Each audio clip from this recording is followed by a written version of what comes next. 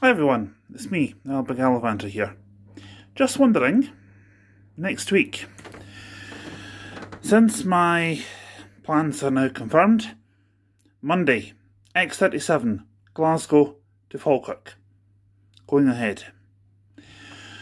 Tuesday morning, uh, well, I was going to put in 202, but can't sadly. Wednesday, X7, Aberdeen to Perth, confirmed. Next Thursday, 202, Kinross to Tillicoultry, confirmed. And then, of course, we will have a week on Sunday. No, wait a minute, what a week on Sunday? Get back to you on that one. I don't think there'll be anything a week on Sunday, to be honest. No.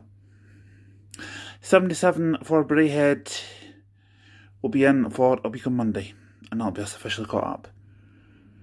Coming up will be the full video on the X51, which I did today. Apologies if it looked like it was a bit messed up. But tonight, would you like to see my model buses and trucks that I've got? I'm going to record a video later about that.